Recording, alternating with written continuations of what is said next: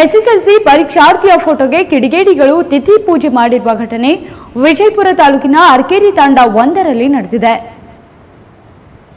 ತಾಂಡ ಬಳಿಯ ರಾಷ್ಟ್ರೀಯ ಹೆದ್ದಾರಿ ಐವತ್ತರ ಬದಿಯಲ್ಲಿ ಪರೀಕ್ಷಾರ್ಥಿ ಸಚಿನ್ ನಾಯಕ್ ಎಂಬ ವಿದ್ಯಾರ್ಥಿಯ ಫೋಟೋಗೆ ಹೂವಿನ ಹಾರ ಹಾಕಿ ತೆಂಗಿನಕಾಯಿ ಒಡೆದು ಗಡಿಗೆ ಇಟ್ಟು, ಹಾಲ್ ಟಿಕೆಟ್ ಜೆರಾಕ್ಸ್ ಪ್ರತಿ ಇಟ್ಟು ಕಿಡಿಗೇಡಿಗಳು ವಿಕೃತಿ ಮೆರೆದಿದ್ದಾರೆ. ಅಲ್ಲದೆ ಘಟನೆಯಿಂದ ವಿದ್ಯಾರ್ಥಿ ಸಚಿನ್ ನಾಯಕ್ ಭಯಭೀತರಾಗಿದ್ದಾನೆ. ಇನ್ನು ಪರೀಕ್ಷಾರ್ಥಿಯ ಪೋಷಕರು ಭಯ ವ್ಯಕ್ತಪಡಿಸಿದ್ದಾರೆ.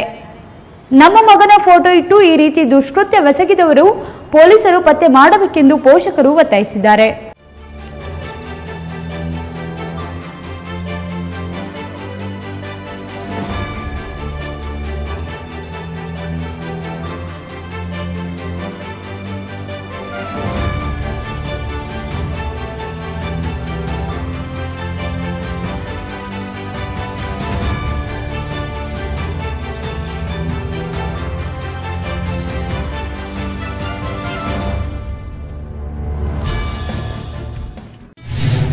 ಜಮೀನು ಮಾರಾಟಕ್ಕಿದೆ. ಹಿಂಡಿ ತಾಲೂಕಿನ ರೋಡ್ಗಿ ಗ್ರಾಮದಲ್ಲಿ ಸರ್ವೆ ನಂಬರ್ ತೊಂಬತ್ತೊಂಬತ್ತು, ಶಿವಪುರದಿಂದ ರೋಡ್ಗೆ ಹೋಗುವ ಡಾಂಬರ್ ರಸ್ತೆಯ ಕರಿ ಬಸವೇಶ್ವರ ಗುಡಿ ಹತ್ತಿರ ಒಂಬತ್ತುವರೆ ಎಕರೆ ಜಮೀನು ಮಾರಾಟಕ್ಕೆ ಇರುತ್ತದೆ.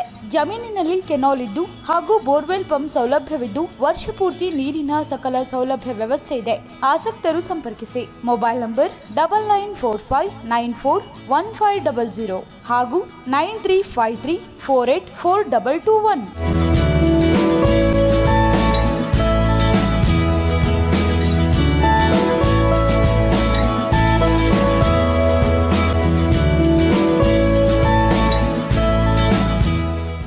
ನಿರಂತರ ಸುದ್ದಿಗೆ ಸಬ್ಸ್ಕ್ರೈಬ್ ಮಾಡಿ ಎಫ್ ನ್ಯೂಸ್ ಕನ್ನಡ ಹಾಗೂ ಬೆಲ್ ಐಕಾನ್ ಅನ್ನು ಒತ್ತಿ ನೋಟಿಫಿಕೇಶನ್ ಖಚಿತಪಡಿಸಿಕೊಳ್ಳಿ.